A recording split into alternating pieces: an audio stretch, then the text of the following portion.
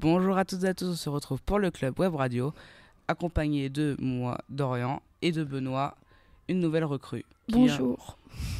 Alors nous sommes allés visiter la nef, qui est une salle de concert. Voici notre reportage. Bonjour, comment vous appelez-vous? Je m'appelle Adeline, je suis médiatrice culturelle à la nef.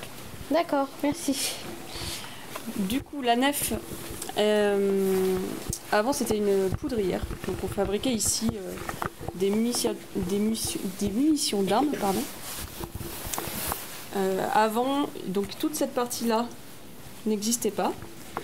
La nef a ouvert en 1993 avec juste ce bâtiment en pierre que vous avez derrière vous. Donc il y avait juste une salle de concert, des bureaux et une loge. En 2005, l'équipe qui travaillait ici a décidé de pouvoir euh, investir un peu plus les musiciens euh, de Charente dans le projet culturel de l'association, puisqu'à l'époque c'était une association. Donc en 2005, on a construit toute cette partie-là, où du coup il y a quatre studios de répétition, un studio d'enregistrement. Donc aujourd'hui, il y a 150 euh, groupes qui répètent ici, ça fait à peu près 500 personnes à l'année. C'est énorme. C'est beaucoup. Donc ici, nous par exemple, on est 13 salariés à l'année. Je vais vous emmener voir un studio de répétition. On va parler un peu plus technique. Donc nous avons quatre studios de répétition. Celui-ci fait partie des plus grands.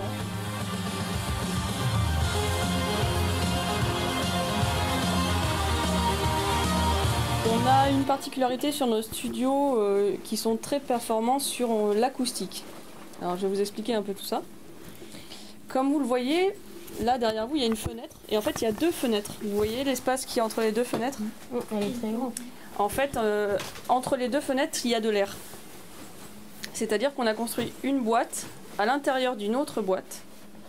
Parce que le son, quand on est à l'intérieur et qu'il y a un groupe de métal, le son, c'est une vibration qui, se, qui, qui dans l'air, va pouvoir taper contre les murs, etc. Et quand ça tape contre le mur et que derrière, mettons, il y a nos bureaux, le son il passe. Ça vous arrive des fois chez vous, euh, vous entendez, je sais pas, la télé qui est dans le salon ou. euh, Oui. Voilà. Parce que euh, votre mur est fin et que du coup le son tape et repasse par de l'autre côté. Ça, ça permet au son, parce que du- on revient sur le son qui est une vibration. Si les murs sont parallèles, le son va ne faire que taper comme ça et du coup ça va résonner énormément. Du coup, le groupe qui joue ici ne s'entendra pas. Ah oui. Alors que si on met un mur comme ça et un mur, mettons un mur comme ça et un mur comme ça, le son va taper ici mais pas rebondir du coup, puisqu'il il ne- il n'a pas ce, ce côté ping-pong. Mhm. Du coup, le son va se perdre euh, et euh, ça va éviter la résonance. Du coup, je vais vous faire écouter l'acoustique de la pièce. Je vais les mettre en- au son normal d'un studio de répétition et on va sortir et vous allez voir qu'une fois dehors, on n'entend plus rien. On va voir euh, l'acoustique de la pièce.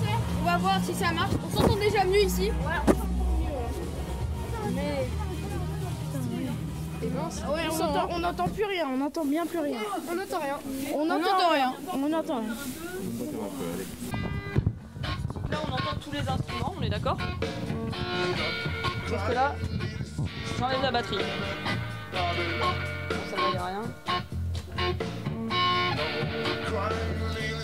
Là, je vais enlever guitare basse. Il nous reste plus que la voix.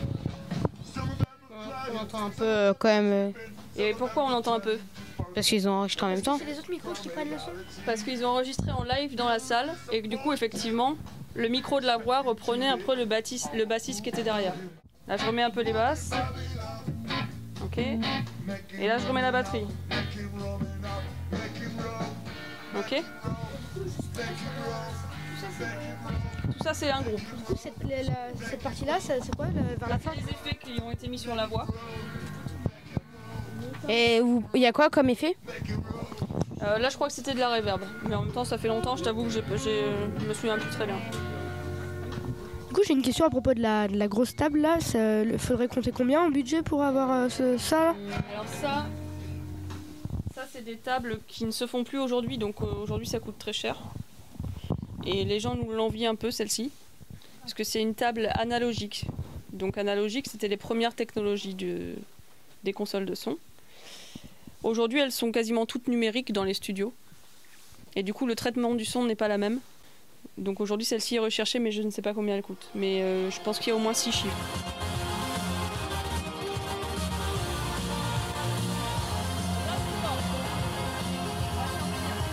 Et du coup, là, vous voyez le petit écran qui est à côté de la console lumière. Il nous indique constamment à combien de décibels on est. Parce que dans les salles en France, et c'est une exception euh, qui tient à la France, on est très contrôlé là-dessus. On n'a pas le droit de dépasser les 102 décibels. C'est beaucoup, mais c'est pas non plus énorme. Et nous, si les 102 décibels sont dépassés, en fait, on n'a pas le droit de, de dépasser 102 décibels sur une période d'un quart d'heure. Sur une longue durée. Et du coup, sur, ces, sur ce quart d'heure- sur ce quart d'heure-là, pardon, si les 102 décibels sont dépassés, la console se coupe. Donc, il n'y a plus de son. Elle est automatique? Oui, c'est une coupure automatique, c'est une réglementation française, c'est comme ça. Et du coup, sur les groupes anglais qui viennent ici, qui ont l'habitude de jouer fort dans des lieux pas équipés pour ça, ils viennent ici, ils jouent fort, et puis en plein concert, le son se coupe au bout d'un quart d'heure, c'est arrivé. Mais vous les prévenez ou pas avant? Bien sûr, oui. Mais c'est marqué dans les contrats qu'on passe avec eux, comme quoi ils ne veulent pas qu'on les embête euh, sur le fait de jouer fort. Donc on les laisse jouer fort, on leur dit que par contre ça va couper au bout d'un quart d'heure, et puis ça coupe au bout d'un quart d'heure. Le matériel est impressionnant. Pour pouvoir accéder sur scène, ils vont pas passer dans le public, ils vont passer par la passerelle qu'on voyait dans la salle, et donc ils vont arriver jusqu'ici. Ok? Donc on va prendre la passerelle. Euh, nous sommes au-dessus euh, de la scène. Nous voyons tous les, toutes les affiches de concerts, tous- tous les artistes. Euh, Là, on est dans les loges. Ok. Celle-ci, c'est la loge commune, puisque du coup, l'accès à la scène se fait par là. Donc, c'est une loge où on va mettre à dispo des artistes, euh, des livres de, de- d'auteurs de, BD euh, issus de- d'Angoulême. On va leur mettre des jeux, du thé, du café, etc.